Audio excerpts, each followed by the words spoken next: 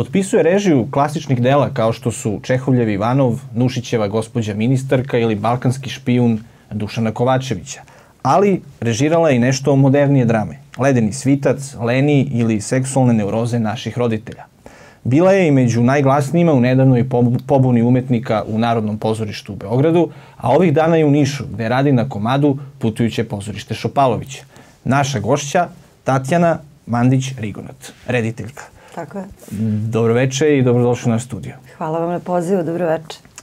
Evo Tanja, recite nam, uh, poslednji put je putujuće pozorište Šopalović u Niškom pozorištu igrano 90. godina, a reditelj je bio čuveni Dejan Mijač. Koliko ta informacija za vas može da bude dodatni izazov ili možda pritisak, pritisak s obzirom na to da ste vi uh, diplomirali u njegovoj klasi, ili tako? Dejan Mijač je bio moj profesor, a gledala sam i pravi izvedbu putujućeg pozorišta Šopalović 1986. godine u Jugoslovenskom dramskom pozorištu. To je ta čuvena predstava. Nišku predstavu nisam videla. A šta su izazovi? Pa uh, ako ste posvećeni pozorišnoj potrazi, ukoliko vas uh, pozorišna umetnost zaista uh, dubinski zanima, onda ste vi zapravo uvek u jednom velikom dijalogu sami sa sobom i sa vremenom u kojem živite.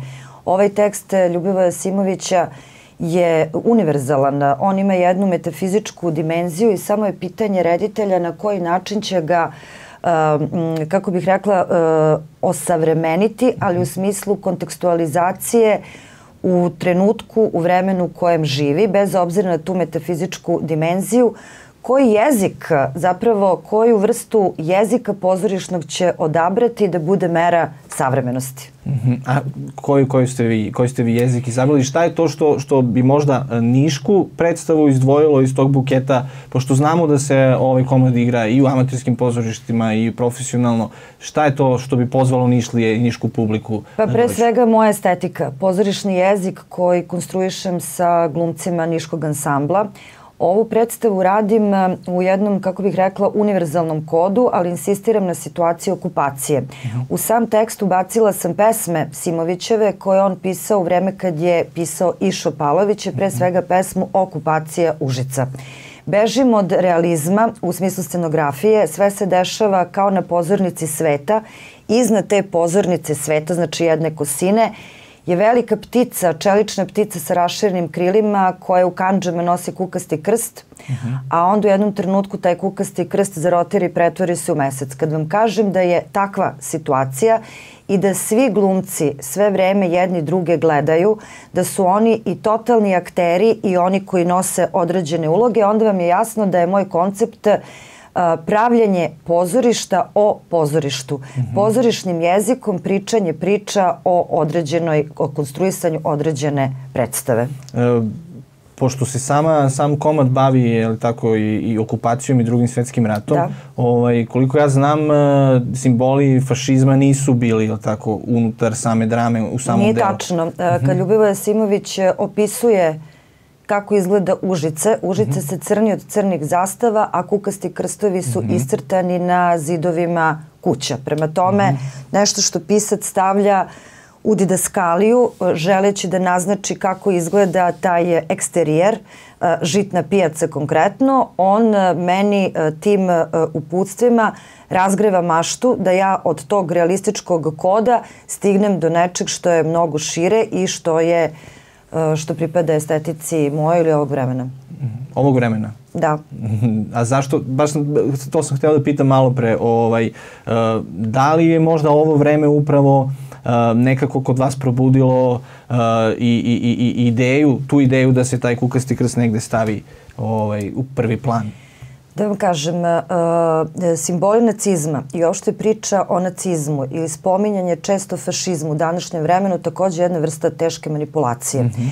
Okupacija Užica, drugi svetski rat, nacistička ideologija, fašizam, koja je to uzet kao, da se ne pričamo o nacizmu nego o fašizmu, uh, su ozbiljne stvari, a mi živimo decenijama e, u nekakvoj vrsti revizionizma, što ne znači da u današnjem savremenom svetu ne postoje sofisticirani oblici fašizma, nikada se jedna, jedna takva istorijska stvar neće ponoviti na dva identična, ne da zapravo isti način, postoje sofisticirani nekakvi znaci, ali ta situacija raširene čelične ptice, taj osjećaj neslobode, to nešto što se nadvilo nad jedan grad, na neki način sobom nosi metaforu jedne velike neslobode u današnjem svetu. Ta mhm. nesloboda može biti stepenovana u manjoj meri, u većoj meri, ali insistira na toj situaciji okupacije. Glumci su iz Niškog ansambla, tako? Nema da, gostiju? Da, cijela podela, ne, nema. Uh, glumi jedna de, uh, devojka ili Saveta Karadžić, ali ona je već, ona je gošća iz Beograda, mm zapravo ona je bila u Niškom ansamblu. E, sa dolazkom novog upravnika uh, na, na čelu Niškog narodnog pozorišta mi smo već imali dve premijere. Za neki dan će biti i treća ovaj, predstava Sladoled. Kakav je vaš utisak, pošto već neko izvesno vreme radite sa, sa glumcima Niškog teatra, ovaj, šta mislite o ansamblu, imali tu dovoljno kvaliteta za ovakav ritam i e, za neka vrhunska dostignuća? Apsolutno. Uh, Pre nego što sam napravila podelu, ja sam gledala neke predstave Niškog pozorišta uživo, a neke sam gledala samo na snimcima. Kad dođete u pozorište, vi prepoznate za veoma kratko vreme kakvo je stanje u tom pozorištu. Ansambl je izuzetan. Ljudi sa kojima ja radim su glumci sa kojima bih rado radila i u Beogradu. Dakle, u tom smislu Beograd, Niš nema nikakve veze. Najvažnije kad se radi jedna predstava, to je da se stvori duh zajedništva da se ima osjećaj ansambla. Jer najbolje ansamble pozorišne e, nemamo tamo gde su svi zvezde, nego tamo gde postoji osjećaj za zajedništvo. E, spadate u grupu reditelja koji su profesionalne vode uplovili 2000-ih, ako ja imam dobre informacije? Ne, pre toga, Malo od 96. godine. Uh mhm. -huh. Ja računam da je počela moja ozbiljna pozorišna priča uh mhm. -huh. posle šest godina pauze između diplomske predstave i Lolite koju sam radila u Bitev teatru. Da, ali nekako čini se da ste nasledili neke starije kolege koji su ovaj, stekli neko ime i napravili nešto u, da kažemo, i u prošlom veku, da tako kažemo. ovaj, koliko je teško nositi se s tim? Uopšte to nije teško, najteže nositi se sa životom, nositi se sa situacijom kad imate karakter kao što je moj, a to je da ste slobodni strelac.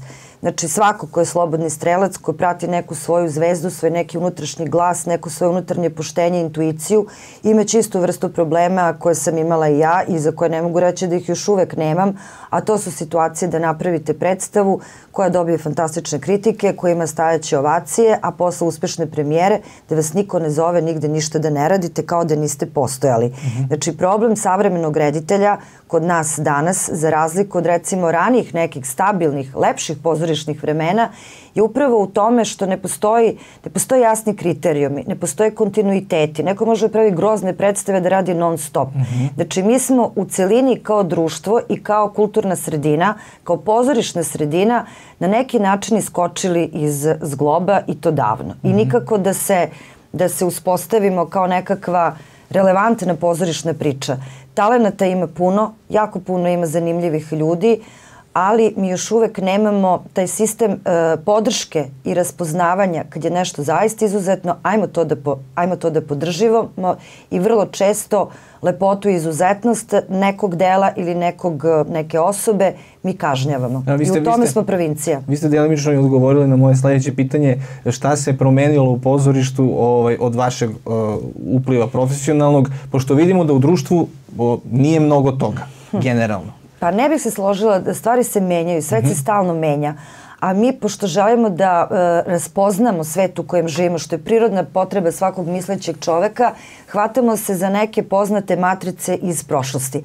A ja mislim da, da je promena tu i da se stalno, da, su, da, se, da se menjaju obrazci. I ti obrazci koji se menjaju nisu samo naši, to su obrazci na svetskom nivou, kad pogledate Evropu danas, ona zaista ne liči na Evropu pre 15 ili 20 godina, recimo da se zadržimo na toj 2000 mhm. toj da. ste spomenuli. Kad gledamo našu zemlju, nama se čini da smo kao u danu mrmota, jel? Mm -hmm. Da se stalno vrte isti neki scenari, a zapravo nije. Neke stvari su mnogo gore, a negde je došlo do promena. Recimo, kada sam radila, ako se držimo teme pozorišta, kada sam radila Lolitu, kada sam radila Jesenju sonatu Bergmana, ošte kada sam radila te predstave koje su imale e, ženska lica za kako, ženske odnose, mm -hmm to je bilo vreme kada se smatralo da kada se bavite da psihologijom žene, kada se bavite odnosom majke i čerke, da je to na neki način inferiorno u odnosu na političko pozorište. Danas kad je popular, kad su popularne teorije roda, mislim i kada se i kada se pojavilo puno spisateljica dramskih i kada je pozorišni univerzum naselilo puno žena, rediteljki, stvari su se promenile. Mislim da smo u tom smislu napravili korak napred ka jednoj pozorišnoj otvorenosti. Stvari su se promenile, ali kako ste jednom izjavili, paranoja je ostala naša večita dijagnoza. Zbog čega?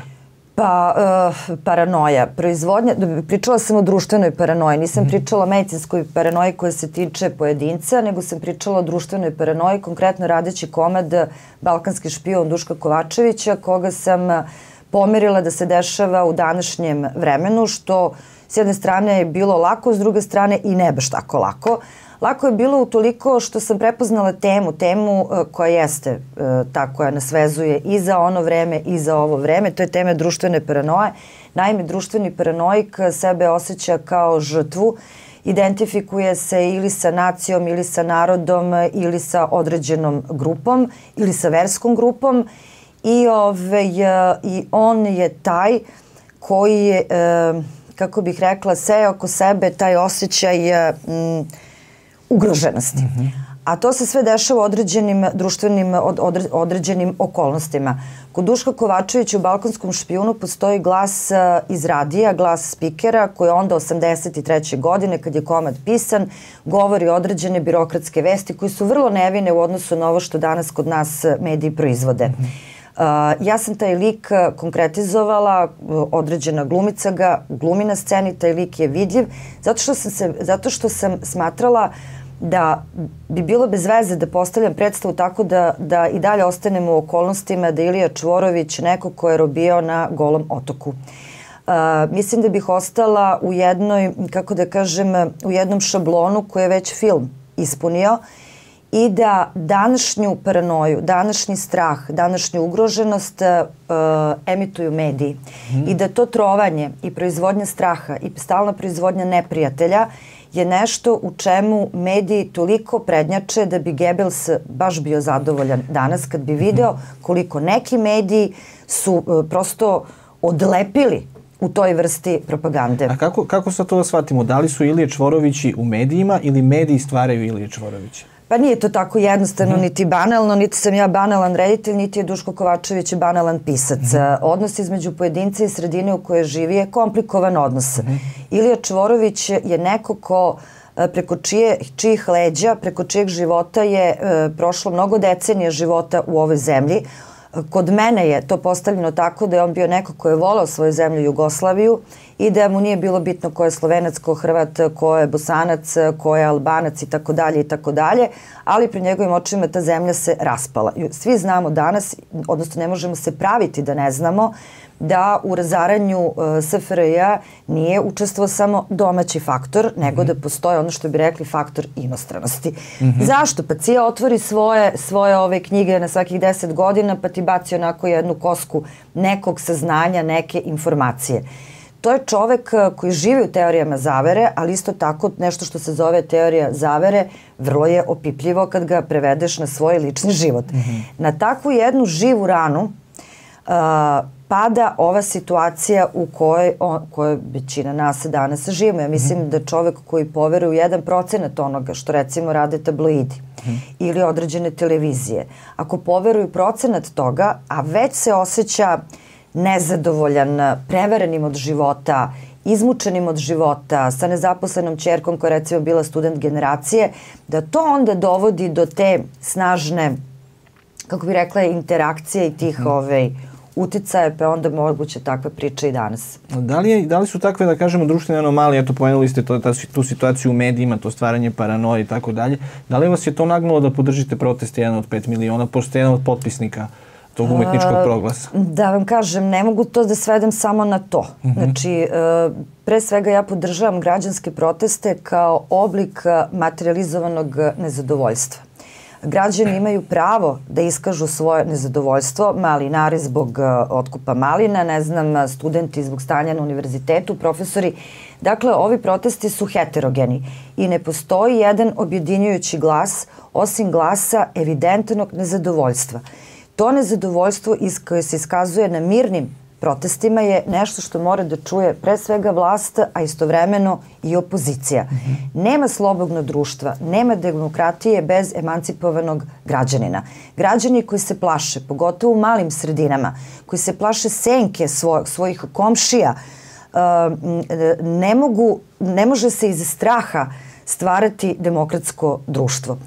I suviše mnogo je vremena ovde potrošeno. Uh, na falš priče, na priče koje su nas udaljili od jedne stabilne i normalne Srbije. E, vređaju podele građana na patriote i nepatriote. Ja mislim da je vrhunski čin ljubavi kad vi kažete jasno i glasno šta sve to u zemlju koje živite nije dobro i šta bi moglo da bude bolje. S druge strane, ja ne verujem nigde na kugli zemaljskoj spontane proteste. Gde god smo videli ogromne mase građana, usledile su nekakve provokacije. Te provokacije su negde imale i tragične ishode, negde nisu. Ali, da li neko stoji iza ovih protesta? Da li neko želi da ih iskoristi? To je potpuno nebitno. Ono što je bitno i što je centralno, to je da je autentično nezadovoljstvo. Mm -hmm. A ako se ispostavi da neko hoće da manipuliše, pa onda će se delovati ovaj, protiv toga. To je mene opredelilo, mene opredelila želja da za pet godina, da za četiri godine Srbija bude bolje mesto za život. Mm -hmm. Da se vrati dostojanstvo obrazovanom čoveku, poštenom čoveku, da se vrati, da se vrate, da se vrati težina rečima, izgovorenim rečima, da laž, kao i lažne vesti, na neki način se marginalizuju, da nisu um, glavna matrica i vođenja politike, a i obaveštavanja, odnosno zamađijavanja građana. Opredelilo me i to što mislim da umetnici moraju da dele sudbinu svog naroda, da e, ničeg u onoj petici što smo mi potpisali nema da je meni problematično. Dakle, umetnici kontinuirano e, su ti koji govore, koji kritikuju, koji ohrabruju e, za bolje, koji imenuju stvari, verovatno zbog toga što naša profesija jeste takva da mi stalno kopamo po sobstvenim dušama i bavimo se tim šta je dobro, a šta je zlo. Dakle, Jasno. gledamo sa onu stranu stvari. Jasno. Uh, da li je dovoljno to što su, na primjer, umetnici podržali proteste, što su, da kažem, i podigli svoj glas, univerzitetski profesori takođe, što se protesti na neki način i umasovljavaju i u manjim sredinama, ne samo u Beogradu. Ovaj, da li je to dovoljno za skidanje ili oslobađanje od tog straha koji ste pomenuli? Pa mislim da se to već dogodilo, ali pošto živimo u vremenu modernih tehnologija, jel? Ja bih ove predložila da kada budu bili u pitanju sledeći izbori, da se uvede pravilo da pred glasačkom kutijom, znači kad dođete tamo da se ono mm -hmm. prskaju, da onda morate da odložite mobilni telefon. Zašto? Mm -hmm. Da ljudi ne bi morali da fotografišu šta su zaokružili. I dokazuju da to, to nekom. I dokazuju tamo da. nekome. Ja mislim da bi to bio veliki mali korak za još jedno oslobađanje od straha. Mi ne znamo ako budu bili fair izbori, dakle ako budu bili u drugačijoj atmosferi, ako se srede ti birački spiskovi, ako se uvedu neka normalnija pravila igre, mislim ja zaista nisam ekspert, ali ako ništa drugo bude više uh, veća zastupljenost uh, ne samo opozicijonih lidera i članova određenih stranaka i pokreta, nego i drugih građana u medijima, ukoliko mi iz uh, ne kulture monologa, pređemo u kulturu dijaloga na televizijama koji imaju nacionalnu frekvenciju, ako se zaista razmene stavovi, a ne uvrede, da mi onda imamo šanse da stvarno imamo realnu sliku na nekim sledećim izborima kakvo je opredeljenje ovog naroda. Ja nisam ni za kakve pučave, nisam ni za kakve prevrate. Ja mislim da su papir i olovka vrhunsko dostignuće a, demokratije. Da ali ne možemo govoriti o punoj demokratiji tamo gde od nje ostala ljuštura, gde se parlament pretvorio u jednu pljuvaonicu, u jednu sramotu i rečnika i postupanja i tako dalje, gde mi, ja mislim šta da pričam, da. pa građani to valjda sami vide. Pa, mislim, mi se stalno bavimo, vide. znači ono, da sada smo se trudili da, da situaciju opišemo, ajde vidimo kako ona može da se promeni. Dakle, za mene su ovi protesti način da se vidi da građani postoje, da je to nezadovoljstvo i nezadovoljstva širokog spektra i ako ova vlast zaista govori da je to vlast rodoljuba, mislećih ljudi i tako dalje, pa onda moraju da preuzmu odgovornost, da čuju šta građani govore i da postupaju po tome. To je onda vrhunski čin. Građani se, kao što ste i rekli, obraćaju i, i, i e, e, strankama na vlasti i opoziciji. Da. Da li, da li svi ti političari to prepoznaju? Pa ja ne znam šta je u njima, ali evo, gledala sam e, neke dve emisije Na RTS-u kod Olivere Kovačević bila je Sandra Rašković-Ivić. Mm -hmm. Znači, mogla sam da vidim ženu posle ne znam koliko vremena da čujem jedan opozicioni glas koje je Martinović, ovi SNS, mm -hmm. preglasavao po istoj mhm. matrici. Kao Mislim da je bio Vesić, ali... Ne, ne, ne, Vesić je bio sa Tadićem. A da, a da, o, da. A sa Sandrom Rašković... Da, kod, bila je i Sandra Rašković-Ivić kad je bio i Vesić. Tako, tako. Ne bila, da. Dakle, počelo je to otvaranje. Mm -hmm. I vi sad možete da vidite ko vozi svoju priču, ne konstatuje da postoji sagovornik, ko opet ima odnos prema sagovorniku. Ali s druge strane, reality su odradili svoje svih ovih godina. Znači, naši građani gledaju kao da je normalno da se ljudi ujedaju, da se pljuju, da pljuju jedni druge, da vređaju. E, znači, mi gledamo, mi gledamo na, naci, na, na, na televizijama koje imaju nacionalnu frekvenciju, mi gledamo gladijatorske igre novog vremena, novog doba, koji imaju svoju matricu da zbog novca, zbog slave, minuta slave, sve je dozvoljeno. Znači, totalno rušenje svih moralnih eh, normi ili onoga što mi smatramo normalnim. Takvi ljudi koji su spremni na to postaju zvezde, postaju idoli, postoje, postaju ličnosti koje služe kao za uzor. Mm -hmm. I sada ja ne bih eh, glumila stručnjaka, jer zaista nisam, ali nemoguće je ne primetiti vezu između nasilja mm -hmm. koje se dešava uh, po školama, ne znam, parkovima, svuda i onog nasilja koje se prezentuje kao normalno, koje na se TV. dešava na ekranu. Mislim, uh mhm. -huh. E, vršena su istraživanje i zna se da prikazivanje krimi filmova i ovakvih onakvih žanrova ne utiče na povećanje nasilja. Ali to je sfera umetnosti. To je pitanje žanra, umetničkog žanra. Reality nije žanr. Reality je način života. A da li možemo da ga posmatramo i kao uh, neki program koji neko želi da prezentuje javnosti sa nekom namerom. Naravno, pa upravo to mi govorim mm -hmm. i stalno se podvaljuje da, da narod upravo to želi da gleda. A mm -hmm. onda kad su bili koreni na RTS-u, dva miliona ljudi je gledalo korene. Tako je. Dakle, nije tačno da narod želi to da gleda, nego neko dobro zarađuje i neko uh, instalira taj uh, model koji je Naomi Klein sjajno objasnila u jednoj svojoj knjizi Nije dovoljno reći ne, a to je upravo ovo čemu sam vam pričala, to je novo vaspitanje za buduće vreme, sve je dozvoljeno. I Koreni su postali najčitaj, najčitanije knjige i najtraženije knjige u mnogim bibliotekama i u manjim da, sredinama. Da. Um, da se bunt do nekle, da kažemo, isplati, vi ste pokazali, ovaj, umetnici su pokazali u Narodnom pozorištu u Beogradu, jer je promenjen direktor nakon što ste se svi vi pobunili. Um, zašto nije umetnički ćutati? Nije ljudski ćutati, mm -hmm. a mhm. onda stepen više, pošto smo umetnici, onda nije umetnički ćutati. Uh, zbog toga što mislim da je stanje pobunjenosti prirodno stanje umetnika, a -hmm. pobunjenost doživljavam kao postavljanje pitanja ko sam, šta sam, gde sam, zašto živim, kuda ovo vodi, kakav je ovo svet, šta je dobro, šta je, šta je zlo. Dakle, naglas misliti, preispitivati i reći ne ili reći da dobru, ja mislim da je to prirodno stanje umetnika koji je misleće biće. E sad... A imate i kolege koji se ne oglašavaju ili prosto staju na stranu da kažemo vlasti ili mini, minimiziraju pa mi nismo, mi nismo, značaj... mi nismo jedno, jedno, jedno telo, kako bih mm -hmm. rekla.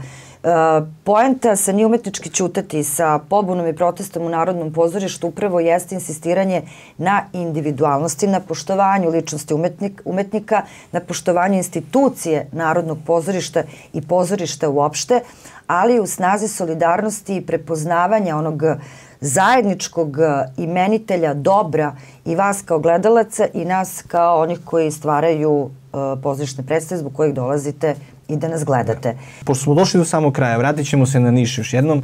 Ovaj, premijera uh, drame koju režirate 11. marta na dan pozorišta i to bi trebalo da bude početak novog festivala Teatr na raskršću. Koliko je značajno za jedan grad kao što je Niš da ima svoj festival pozorišni?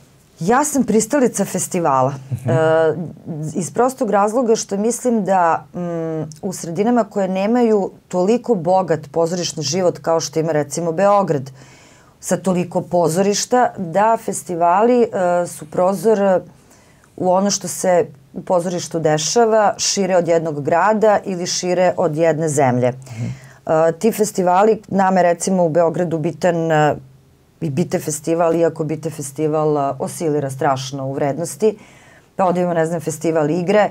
Uh, mislim da je dobro što će Niš dobiti taj festival na raskršću. Uh, naravno, od selekcije će zavisiti značaj tog festivala, kao i od žirija koji će verifikovati, jer znate... Biće pored, tu jedna vaša predstava dobre, Da, biće balkanski, biće balkanski špijun. Ove, za jedan festival je bitan ne samo selektor i selekcija koja se napravi, nego i taj žiri koji će to da vredne. Možete vi imati super selekciju, da imate bezvezan žiri, pa vi oduzimate, ali za publiku, generalno za građane, ništa od svega toga nije bitno, osim da vide ove dobre, dobre predstave. Hvala vam na gostovanju. Hvala vama. Moje ime je Aleksandar Stanko, vi ste gledali 15 minuta.